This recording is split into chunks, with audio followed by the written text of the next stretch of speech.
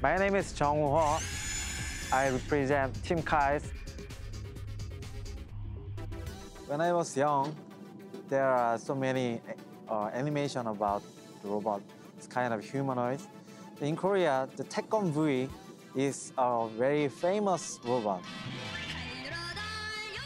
But I don't think there is reality, just animation.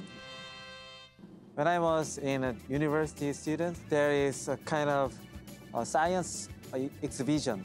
There is a KHR-1 robot uh, made it by KAIST.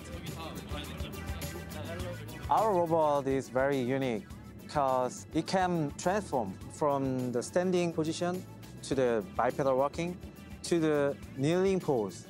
And also, he has a more powerful joint.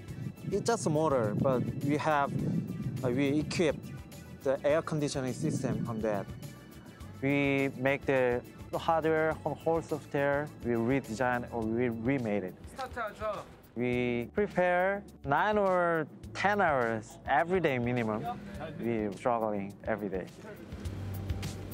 Everything is challenging, but the most is driving and egress, and walking is also. Like pedal walking is very dangerous and very difficult to the humanoids.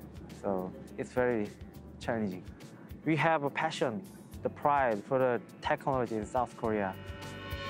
They have a, way to cheering and supporting us. They want to see the very successful performance in final. We're gonna show you a good performance in, fin- in the final. The government and South Korean, they have a pride. They have pride of us. They're really proud of our technology. We want to try to be one of the best team.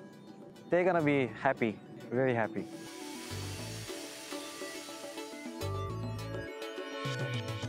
Actually, the DRC final is Olympics of robotics engineering.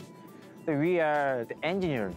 So we want to be the best in our- in our region. I really want to be winner.